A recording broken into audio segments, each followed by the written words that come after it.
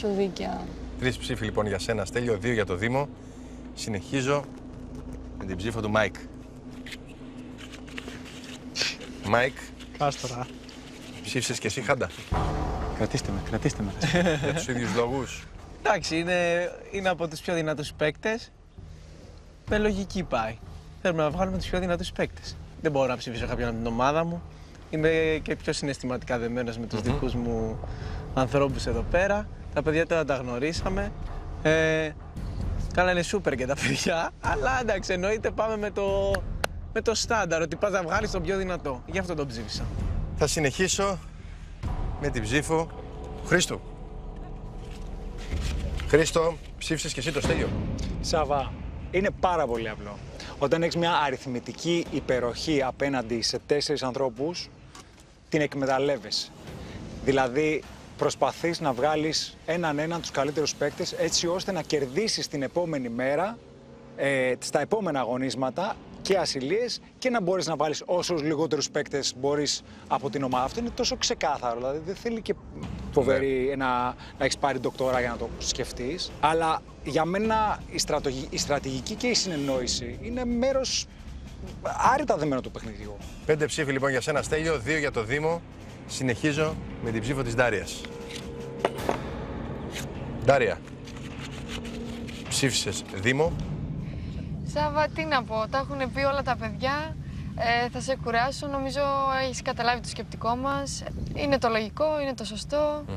5-3 λοιπόν η ψήφη μεταξύ Στέλιου και Δήμου. Πηγαίνω στην ψήφο του Κώστα, του παίχτη που έχει ασυλία σήμερα. Κώστα, ψήφισες ευχαριστέα για τους ίδιους λόγους. Σάβα, ναι, δεν μπορούσα να κάνω εγώ κάτι άλλο. Έχουμε πει ότι λειτουργούμε σαν ομάδα. Υπάρχει αριθμητική υπεροχή. Μετά ίσως διαφέρει λίγο που θα πρέπει να ψηφίσουν κάποιον δικό τους και δεν ξέρω αν θα θέλουν να βάλουν δυνατό παίκτη ή αδύναμο. Για δύναμο. Μετά ωραία. αλλάζει εκεί το θέμα γιατί θα είμαστε θεωρητικά αυτό που είπε ένας πρόωρος τελικός.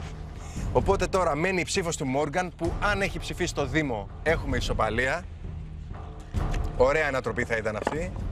Αλλιώς, Και θα την έκοβα εγώ την τούρτα. ακριβώς. Sorry για το Gringlis ε, γράψιμο; Η Άντα. Μόργαν, ψήφισες Χάντα. Η Άντα. Ποιος είναι αυτός. Η Άντα, Για τους λόγους που αναφέραν και οι προηγούμενοι, επειδή είναι πάρα πολύ δυνατός παίκτης από ό,τι έχω καταλάβει. Οπότε, Στέλιο, όπως καταλαβαίνεις, είσαι ο δεύτερος παίκτης που θα βγει εκτός. Είσαι ο δεύτερος μονομάχος. Δεν θα συμμετέχεις στο αυριανό και το μεθαυριανό αγώνισμα. Μπορείς να έρθεις να πάρεις το περικάρπιο του δεύτερου μονομάχου.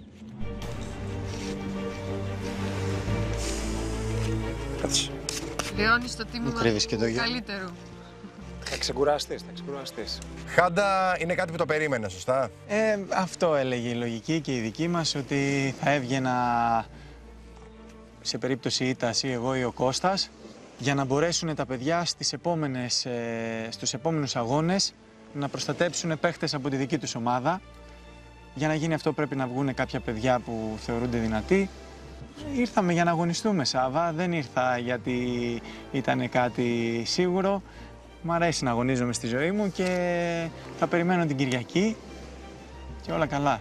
Στέλιο και Μόργαν, ακόμα δεν έχει τελειώσει τίποτα. Θα έχετε άλλους τέσσερις μέχρι την Κυριακή μαζί σας. Οπότε όλα τα σενάρια είναι πιθανά. Νομάδες, μη σας κρατάω άλλο. Επιστρέψτε στο νησί να ξεκουραστείτε. Αύριο έχουμε το δεύτερο ατομικό αγώνισμα ασυλίας. Σας εύχομαι καλή ξεκούραση και καλή επιτυχία για αύριο. Ευχαριστούμε. Ναι.